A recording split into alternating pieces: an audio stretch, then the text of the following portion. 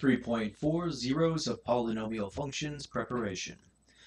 Alright, example, determine whether the graph of x squared plus y squared is equal to 25 is symmetric with respect to the y-axis, the x-axis, or the origin. Alright, so let's try y-axis, which means we plug in the opposite negative, which in this case is going to be a negative y. So what we do is we have a negative x squared plus y squared equals 25. A, uh, negative x squared is a positive x squared because a negative times a negative is positive.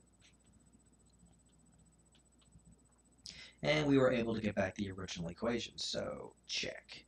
Now what about x-axis? Now if it's x-axis, we want to plug in a negative y and square it.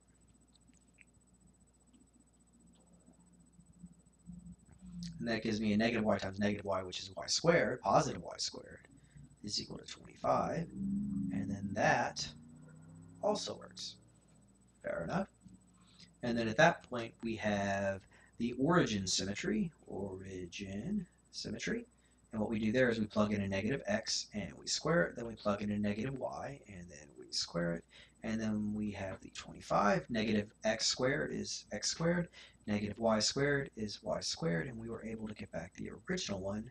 So, because we were able to get back the original equation there. So this has all three types of symmetry.